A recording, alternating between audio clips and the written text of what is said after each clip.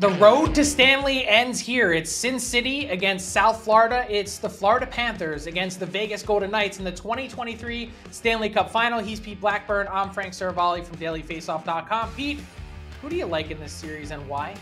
As much as I as I want to say that the Florida Panthers are a team of destiny, my brain is going to the Vegas Golden Knights just because they've seemed like the most consistent team of this playoff run in terms of sustainability. Like I know the Panthers have won 11 of 12, but is that sustainable? I don't know. I, I look at what they've done beginning to end, the, the, Vegas Golden Knights, and they've just been so good, almost in like a boring way, where they just take care of business. Systematic any... dismantling is what it's been like. Exactly, and you you you you look at what they've done so far. They've gone through some top end goaltenders. They're going to see the hottest goaltender of the playoffs in Sergei Bobrovsky in this final.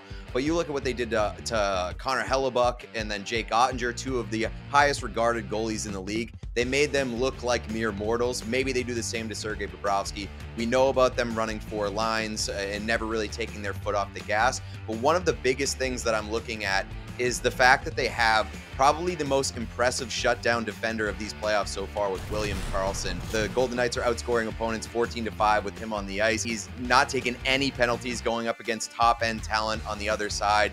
And obviously, if you're able to neutralize Matthew Tkachuk or at least mitigate what Matthew Tkachuk and his line can do, you're going to be in a good spot if you're the Vegas Golden Knights. Yeah, I agree with you. And the Florida Panthers also just happened to shred, though, the best defending team in the playoffs in the Carolina Hurricanes with that defense core that they have in the Eastern Conference Final. Made quick work of them. I agree with you on all your points about the consistency of the Golden Knights. As I mentioned, systemic dismantling that we've seen. But I also wonder more about some of the other things that we've seen from the Panthers and whether or not they're sustainable. Sergei Bobrovsky in this run he didn't start the first three games of the playoffs because they thought he lost his game. Now, with a 10 day layoff between games for the Panthers, what are the odds that he just turns into a pumpkin again? I mean, we're dealing with a player that was definitively unconscious in this postseason.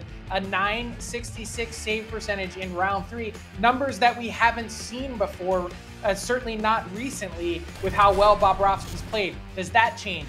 The fact that they've been 8 and 1 on the road so far in the postseason. What about their OT record? 6 and 0 with a 4 OT win to their credit. That's shades of the 1993 Montreal Canadiens. And yes, this run from the Florida Panthers has been borderline miraculous for a team that lost its way into the Stanley Cup playoffs in the last week of the regular season. We've seen eight seeds get here before. We've seen eight seeds close the deal, the LA Kings back in 2012.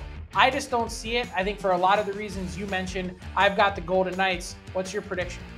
Uh, I think it's going to go the distance. I'm going to say Golden Knights in seven. I think the margins are pretty small here, and I think this is going to be a fun competitive series. But I'm going to go with Vegas on the edge in seven games.